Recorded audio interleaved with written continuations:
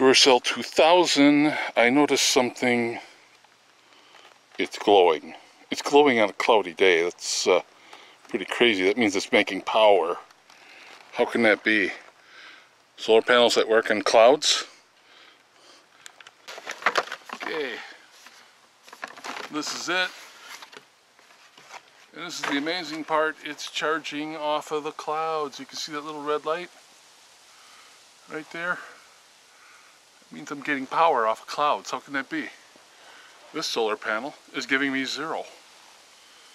And it's charging my phone.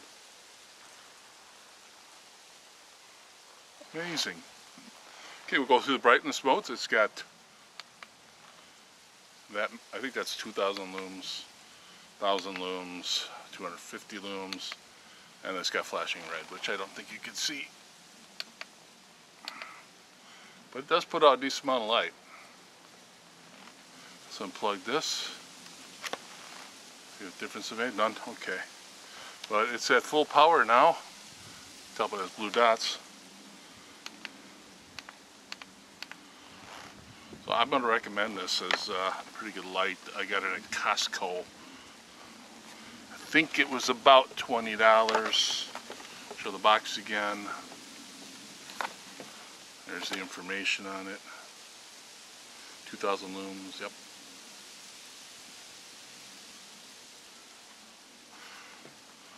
Nice survival gear. You can charge your gear while you're out there, even clouds. Okay, we're looking at 2,000 lums will run for two and a half hours. 1,000 lums will run for 12 hours. 250 looms for 20 hours. And low will run 250 for 60 hours. Pretty impressive.